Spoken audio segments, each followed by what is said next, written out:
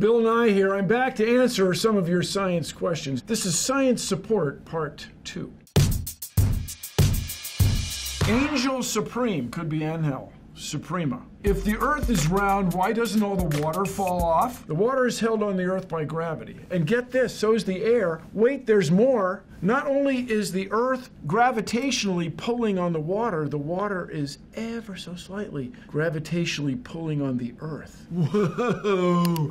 And see, this is Isaac Newton's insight. He saw the apple fall off the tree and he realized that not only is the Earth somehow pulling the apple down, but the apple is mutually, gravitationally pulling the earth up. Like, dude, that's so out there. I know, I know. Miss Misery, how charming. My dad, I don't get the internet. Seriously, where does it come from? Like, how does it work?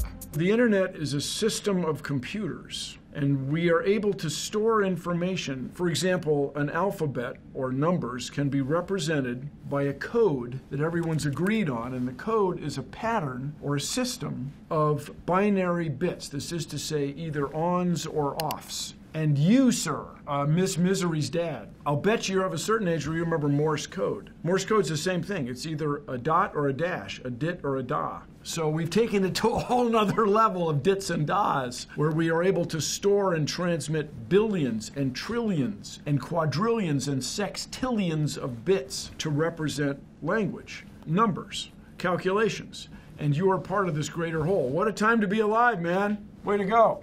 Chelsea Briggs. Whoa. Did a meteor just hit my home state of Michigan? Everyone is calling me. Is the world coming to an end? Uh, I would say, based on my presence here, along, uh, you can't see it, but there's a crew of camera and audio people here. I don't think the world ended as we know it. Just judging insofar as you were able to send a text, I bet the world didn't end for you either. So once in a while, a meteor streaks through the sky. Now, for fun, I'll give you these three words. Meteor means something streaking through the sky. Meteor has to do with the sky in Greek. A meteorite is what you call it when it makes it all the way to the Earth's surface as an intact rock. An asteroid is different. A comet is different. I guess that's four words. But yeah, meteors come into our atmosphere, streak through the sky all the time. Meteorites once in a while. If you like to worry about things, you're living at a great time because we discovered that the ancient dinosaurs were almost certainly wiped out by a great big asteroid or a cluster of asteroids. Le Dunois. Why can't I walk through solid objects if all I'm made of is neurons, protons, and electrons? So let me say, I think you tossed in the word neuron when you may have meant neutron, but neurons enable you to think about this. And keep in mind that protons and electrons are not all you're made of. There's also some energy driving these things around, making them interact. And there are these fabulous subatomic particles. The subatomic particles are in turn made of others, even smaller particles, quarks. And so these things all interact. And if you like to wonder about things, this is a great thing.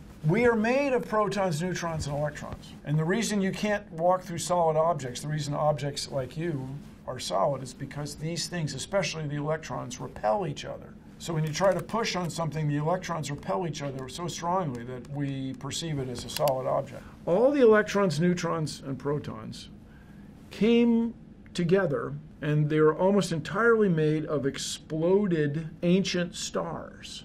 So you and I are made of stardust. You and I are at least one way that the universe knows itself. Whoa, dude. I hope that fills you with reverence. I hope you stop and think about that at least once every day. Middle school span teacher, true. Are the seats in the front of the plane the best to avoid turbulence? Generally, yeah. Uh, especially swept wing aircraft will do this.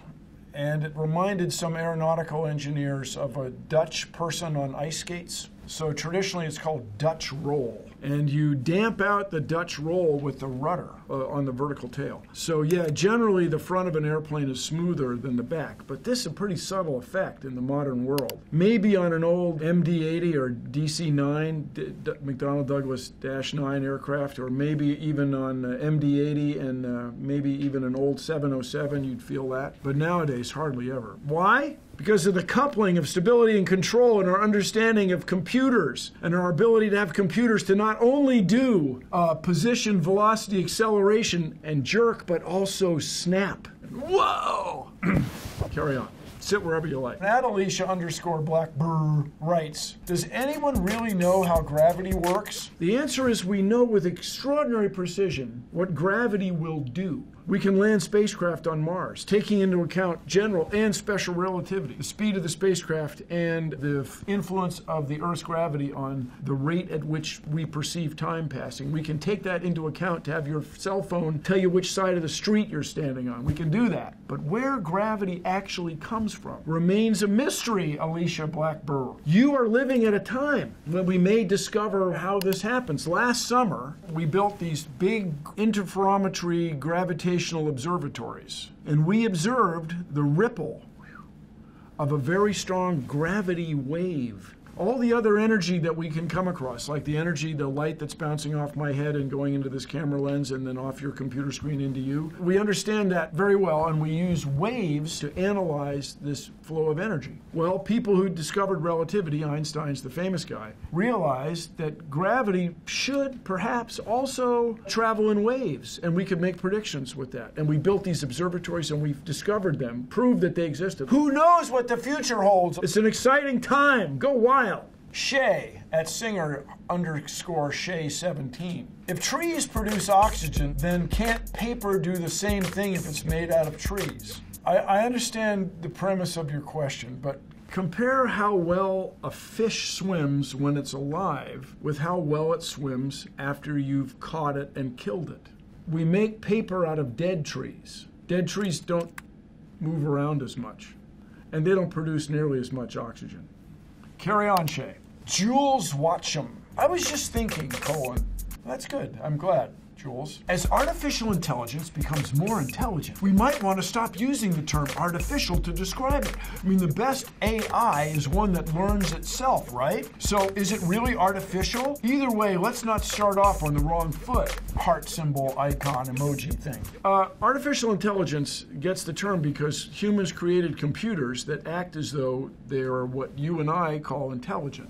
For me, the line that will be crossed is when our computer systems, which are artificially intelligent, choose to make art. When an artificial intelligence decides to do something just for the sake of doing it, then we will have crossed a line into intelligence. So right now, I'd stick with AI. And don't be freaked out about AI. You get on a, uh, you go to an airport, and you get on the tram that takes you from Terminal A to Terminal C, and you trust it because engineers have designed a system that figures out how much you weigh, how much your luggage weighs, how fast the door should open, where it should stop, how fast it should accelerate, how fast it should slow down. Gets all that done, and you trust it. It's just the next few levels with the thing will get more and more complicated. What we don't want is for worldwide systems of artificial intelligence to become so sophisticated that we can't predict what they're going to do, or there's, there's so many moving parts you can't tell what, what's going to happen. That's what we don't want. That's how we get blackouts in electrical grids and stuff. But you're out there, Jules. You're thinking deep thoughts. Way to go.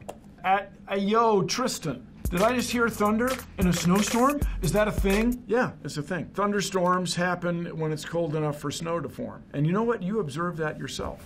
Way to go. Yokimo at YosiFlow13157012 writes, I have no pinky toenail. Is this evolution? You'll notice that in evolution, what's an interesting thing, a fascinating thing, a very important idea in evolution, Yokimo, you don't have to be any better than you have to be. This is to say, there is no force, no natural force, no natural selecting pressure to have superpowers, to have x ray vision, to be able to run faster than a speeding locomotive or leap tall buildings in a single bound. There's no motivation for that naturally. You only have to be good enough. So if you're able to live your life, put on shoes, run marathons, whatever you might do, dance uh, swing dances, maybe the Balboa or the collegiate shag or East Coast swing, you can do all that without a toenail. There's no evolutionary pressure for you to get one. But it's a cool question. And you know what else, Yokimo?